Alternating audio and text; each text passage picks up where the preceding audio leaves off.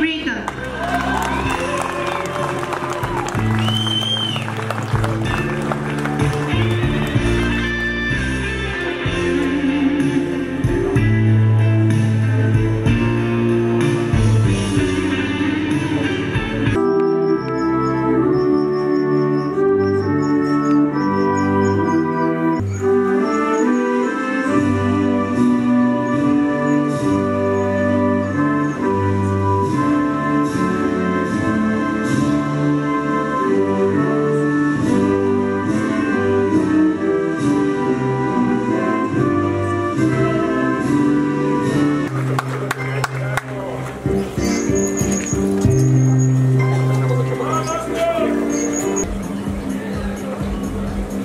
Near perfect conditions as well. So you know, uh, it's been a bit up and down with the wind, but it's been pretty nice today. So happy with it.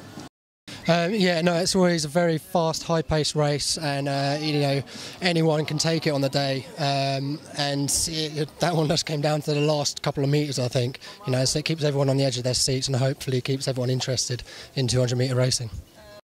Um, I've done quite a few 200s now, both in K2 and K1. I think it comes down to a hell of a lot of practice and uh, pacing it right, um, and getting getting the yeah the pace right to last the distance. Really, you don't want to be fading towards the end. You want to be pushing towards the line.